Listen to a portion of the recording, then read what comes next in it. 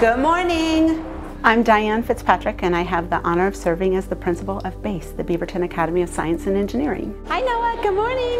I have multiple degrees in mathematics and I taught at multiple universities and I taught middle school. I make this a Y, so I have an X, I swap them and then solve. I was transferred to health and science school in 2012. They needed an advanced math teacher. So I came to this location unwillingly, but it ended up being the best thing that ever happened to me. And what did you need help with today?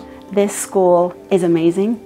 It's a 100% CTE school, and I have a CTE background. Morning!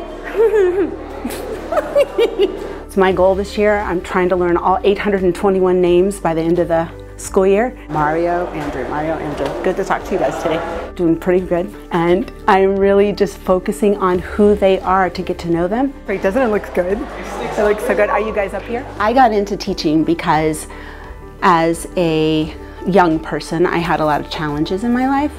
And there was a teacher who literally saved my life. And that teacher really showed me what an adult can do to save a child and I wanted to pay that back. I'm really proud of you guys. I went into teaching so that I could help other students who maybe were behind the shadows or who needed that support so that I could um, change students' lives. And so that's why I'm here.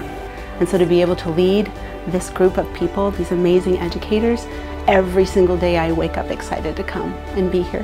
Having those relationships with kids is what this is all about. I'm here to lift them. I'm here to support them and show them they can reach any dream that they have and I'm going to be right there beside them. You've got this.